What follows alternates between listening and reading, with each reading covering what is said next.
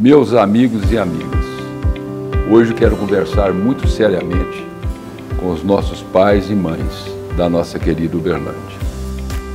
A paralisia infantil já atingiu a 20 novos países no mundo, inclusive os Estados Unidos. Nós estamos aqui com 78% de cobertura. Precisamos chegar a 95% e por que não dizer 100%?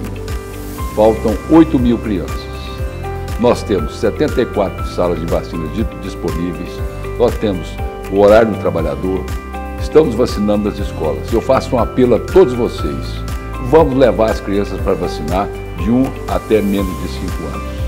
Outro problema é a meningite, que começa a assolar o nosso país.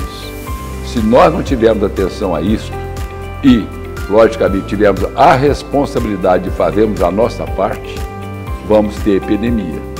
Então está feito o meu apelo ao povo de Uberlândia. Vamos vacinar as nossas crianças.